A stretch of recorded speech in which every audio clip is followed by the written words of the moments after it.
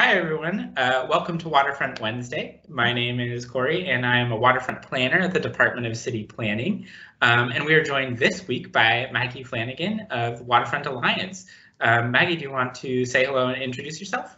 Thanks, Corey. I'm Director of Education and Outreach at Waterfront Alliance, where we work together with more than 1,100 Alliance partners to have resilient, revitalized, and accessible coastlines for all communities. That means we want the best of everything on our waterfront, great transportation like ferries, mm-hmm. great jobs in our working waterfront, and of course, access and education like um, youth programs we focus on, as well as a resilient future for our urban coasts.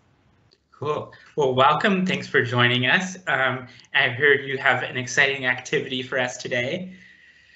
I'd love to share with you our activity called Become an Ecological Engineer. It's based off um, some very simple educational methods using a tray with water. um, but there's amazing goals that you can achieve with activities like this. Um, through these hands-on explorations, young people will be able to understand relationships that actually apply in the real world and on our waterfront, and they're going to be able to develop understandings and vocabulary that will enable all of our communities for ad to advocate for the best of the things that they want on their waterfronts. So Corey, what kind of, uh, yeah, thanks.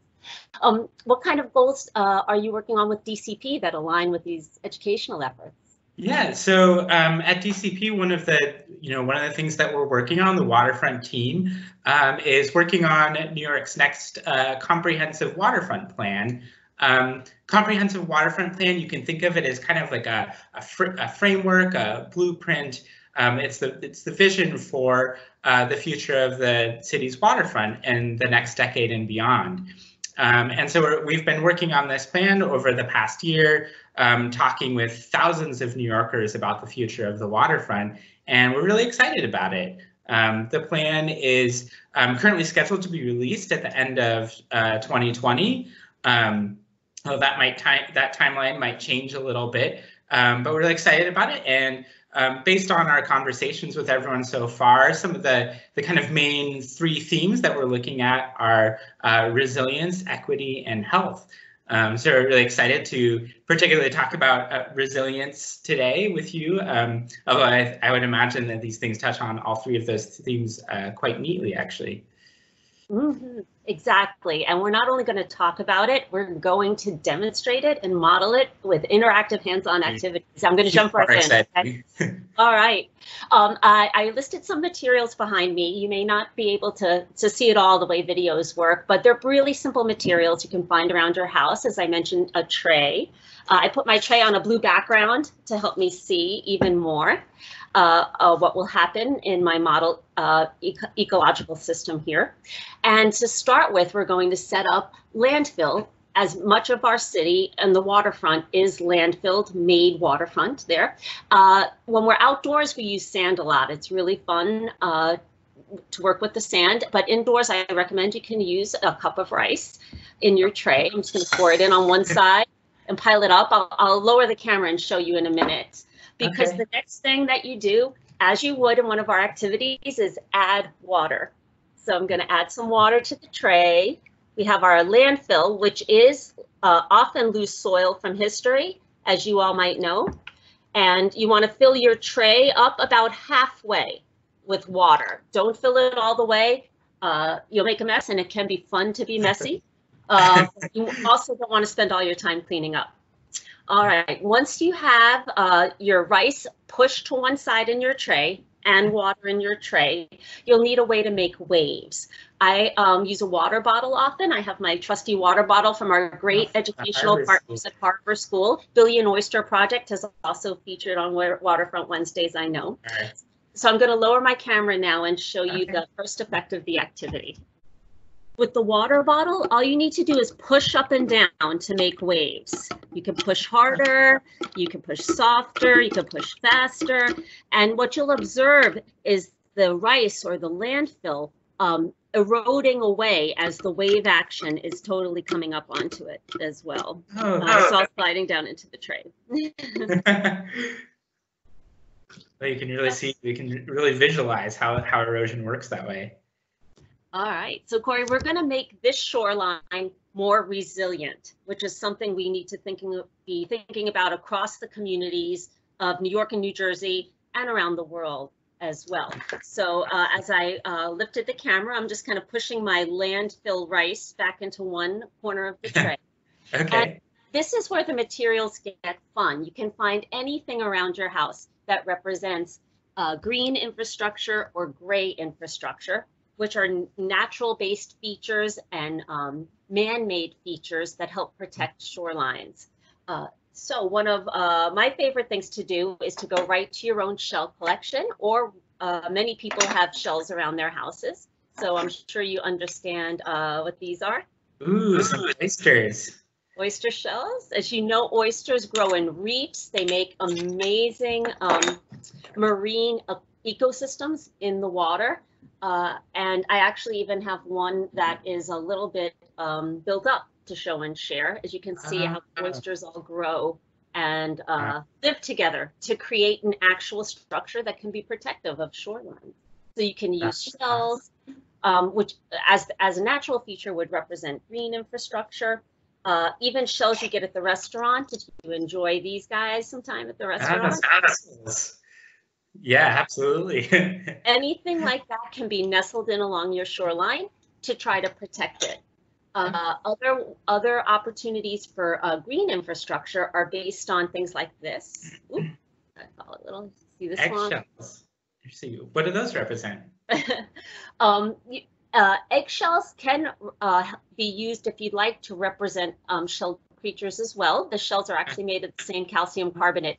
But I love the shape of these eggshells. A dome shape is particularly a resilient structure and they're partners with city planning and with Waterfront Alliance that have been able to create what's called fish balls and fish habitat with ecologically prepared concrete, little holes for all the baby fish, uh, places for wildlife to attach.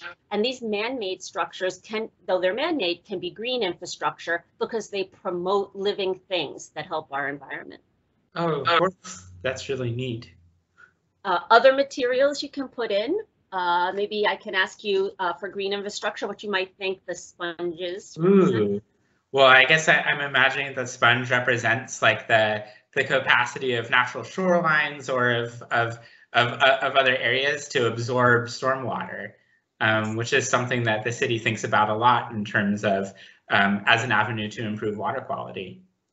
So right, it's so right. Thanks, Corey. The um, uh, natural waterfront uh, wetlands, non-permeable surfaces um, offer great benefits for protecting a shoreline. All of these nat uh, natural or green infrastructure approaches we've discussed have what's also called co-benefits for the fish and the people that are also at the waterfront, which is a great, amazing addition.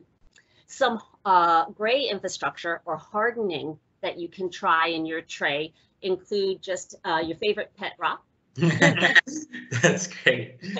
um, uh, I, I even do things like sometimes collect the old bricks on the waterfront. If you know, ah. um, clay from the Hudson River was an important brick making component back in the day. Uh, whatever you select, put those in your tray, get your shoreline protected, get your water bottle in hand, and let's try it again. I, I have um, provided oh, all the above approach. Yeah, I picked I picked all our green infrastructure, our really important green infrastructure. And as I keep pressing the water and keep pressing the water, you can see that between the reef ball for fish habitat and the oyster reef, my landfill is very well protected from the waves and the surge of the potential uh, water yeah. events in your community. That is a really nice illustration of the effectiveness of of living shorelines and green infrastructure. Thanks, Corey. Thanks. Um, uh, take a take a minute uh, just to use my towel here. Um, but maybe you can tell us a little bit about how New York City is planning for real for the floodplain. Yeah, absolutely. Um, and so, of course, New York City, as as we're talking about as a coastal city, uh, we have 520 miles of shoreline, um, which if you were to take those 520 miles and stretch that out end to end, it would be like the distance from here to Columbus, Ohio. Um, so we have so much shoreline and it, it, the shoreline is really diverse. We have everything from thousands of acres of, of wetlands to, you know, the like high density um, uh, built up urban areas. And what that means is we have to have kind of different management strategies um, for for resilience and for planning for sea level rise in these different parts of the city. Um, and um, New York City has, you know, we have uh, over 400,000 people living in the floodplain. Um, and so, of course, the the um, what this means is that we have to be thinking very proactively about resilience planning. And we do that through a number of different ways. Sometimes we use the tools of zoning and, and land use um, to do things like enabling um, building owners to build buildings more uh, resiliently. And then we also are thinking about infrastructure and shorelines. And I think this is just a perfect illustration of how effective green infrastructure and living shorelines can be um, in providing resilience to storms and also all these co-benefits like like habitat and everything else. So it's really exciting to hear. Um, yeah. Can I ask you one more question, Corey? Did you ever try an activity? Sorry, did you ever try an activity like this when you were in school? I did not, and I wish I had had that opportunity because it seems really cool. Um, but for me, it was certainly a, like a, a passion for water and a passion about water and about climate change that you know led me to um, pursuing a, a, degree in city planning and becoming a waterfront planner. So I just really appreciate you um, like showing this in such a hands-on and, and fun way. Thank you for helping us make connections for how this can really help our city and get our own uh, people and students involved, potentially even moving into jobs like you have as well to yeah. have a resilient city. Totally. Can I tell you about some other things going on in education and resilience, Corey? Yes, please do.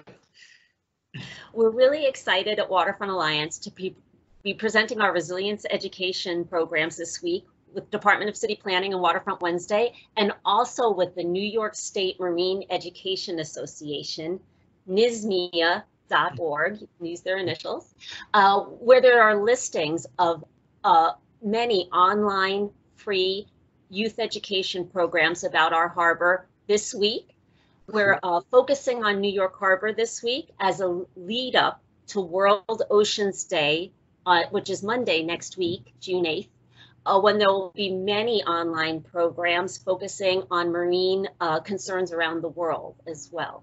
So, oh, wow. If, if you love what we're doing here, definitely uh, tune in for programs with NYSMEA and Billion Oyster Project on Thursday and Friday. This work with our education programs is only one part of a larger community campaign at Waterfront Alliance called Rise to Resilience. For our city to be resilient and just, it'll be very important that communities from around the region come together to learn and advocate and share what will make their communities more resilient.